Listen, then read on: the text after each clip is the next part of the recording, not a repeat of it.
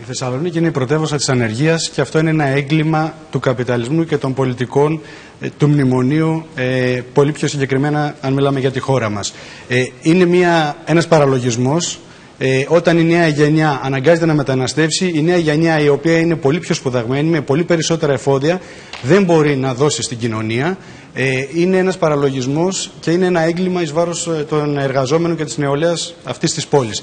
Παρόλα αυτά, για μας η Θεσσαλονίκη δεν είναι μια, ε, δεν κρατάμε μια μαύρη εικόνα για αυτή. Για μας η Θεσσαλονίκη είναι η Θεσσαλονίκη της αντίστασης, η Θεσσαλονίκη που του Μάη του 36 και ιστορικά και ιστορικά ε, κρατάμε την, ε, αυτό που λέει ο Μαζάρου στο βιβλίο του «Η Θεσσαλονίκη ήταν η πόλη των φαντασμάτων».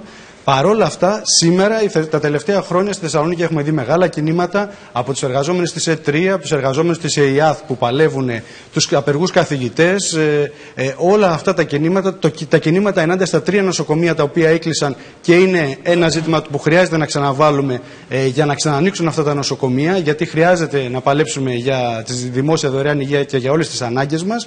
Και άρα, με αυτή την έννοια, η ελπίδα είναι το να μαυρίσουμε τους πολιτικούς του μνημονίου ε, του να δυναμώσει η αριστερά και συγκεκριμένα το, πιο συγκεκριμένα η αντικαπιταλιστική αριστερά που είναι το πιο καθαρό ε, κομμάτι ε, και θα είναι η καλύτερη εγγύηση για τους αγώνες του μέλλοντος.